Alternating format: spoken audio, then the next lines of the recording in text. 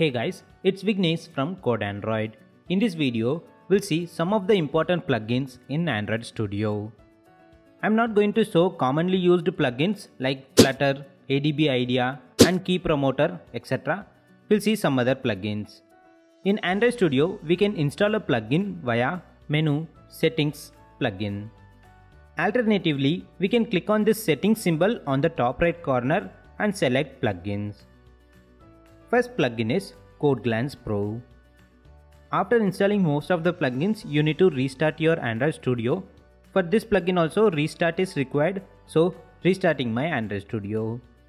After restart, we can see minimap of our code as scroll bar. Using this, we can navigate to the particular part of the code easily. Second plugin is Rainbow Brackets. Let's install this. This plugin will change the brackets color. For example, this yellow bracket will end with the same color bracket. Inside this, we have another bracket which is starting with green color, so the ending bracket also denoted with same green color. Like this, it will change the color of the brackets using which we can find the start or ending.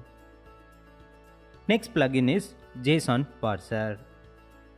We mostly use JSON for sharing the data between server and mobile. To understand the structure of the JSON, we can use this plugin and format the JSON. On installing this plugin, we get a new tool window. Here, we need to paste our JSON and click on parse. Here, we have pretty, raw and tree format. Using this, we can see the structure visually. Next plugin is string manipulation. Using this plugin, we can do some basic encode and decode without opening our browser. For example, if we need base64 of this string, then we can select the text, right click on it, string manipulation, encode decode and select encode base64. You can see the text got encoded. If you want to change the text from camel case to Pascal, then select the text switch case, select Pascal case. You can see the text became add to do. If you want the sentence to have a first letter uppercase remaining lower, then select first word capitalized. You can see the text got updated. Like this, we can do string related operation using this plugin without leaving Android Studio. Next plugin is Side Mirror. This plugin is useful only if you are using screen copy because this plugin helps to mirror Android device or emulator into a separate window. After installing the plugin, right click on the toolbar and click on the plus icon. Here, search for Side Mirror.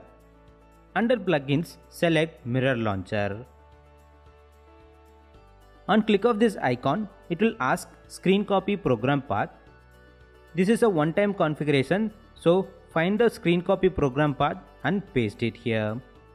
On click of this tool again, it will open a terminal window and execute our screen copy program. These are few general plugins which is useful for all the users. Now we'll see some of the plugin which improves Flutter developer life.